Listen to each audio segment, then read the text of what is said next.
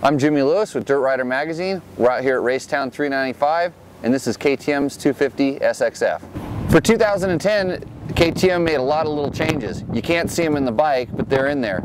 Um, basically, they did a lot of work on the suspension, some coatings internally, some valving settings, and a big change is the new triple clamp that they put on all the SX models. So to find out how that works, we're going to take it out and put it on the track.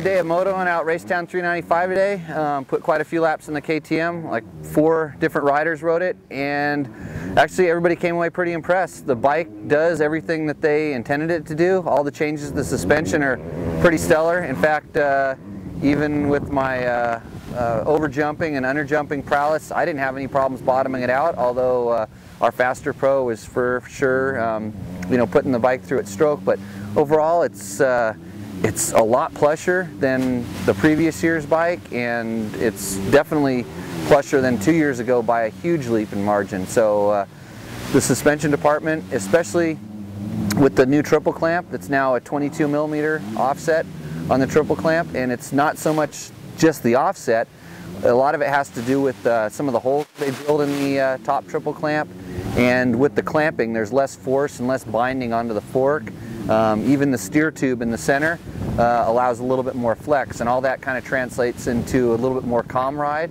and uh, a lot less jarring on the body.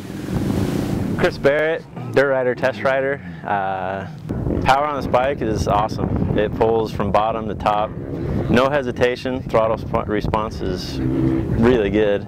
Uh, the only issue I had, uh, a little bit of a bog on hard landings but that's about it. I mean, the motor's really strong besides that. Right out of the box, uh, without touching the clickers or anything, the suspension was real balanced. I'm at about 190 pounds and uh, the bike soaked up pretty good hits. Had a little bit of bottoming on hard landings, but uh, besides that, it cornered excellent, got into the braking bumps right through them.